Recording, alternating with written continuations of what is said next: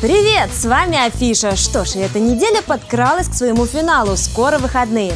Для тех, кто еще не строил планы на уикенд, я приготовила несколько вариантов культурного досуга. Смотрим, вдохновляемся, выбираем. 435. В это воскресенье в Самаре пройдет День города. 12 сентября в Волгаре заработает парк дружбы народов. А накануне в городе официально откроют новый памятник семье Аксаковых.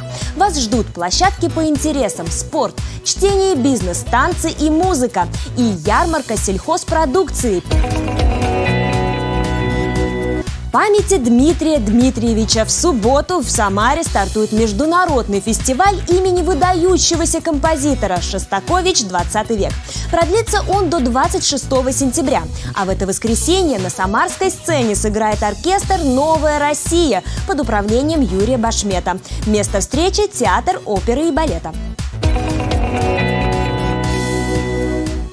Пусть произойдет волшебство. На Фрунзе 120 в музее Эльдара Рязанова ищут мультипликаторов. В воскресенье в 11 часов здесь запустят зоотроп. На мастер-классе «Как оживают картинки» расскажут историю развития анимации и даже дадут возможность создать свой мультфильм.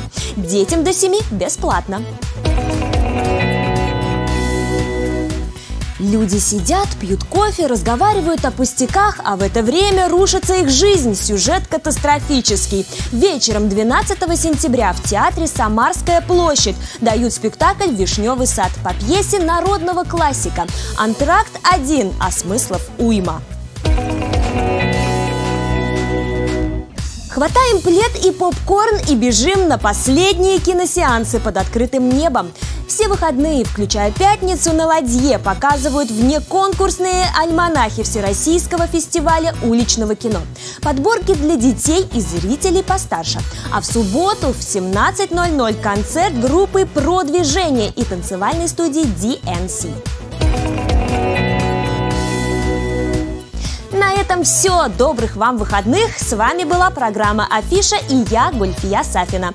Не болейте. Пока. Yeah. Yeah.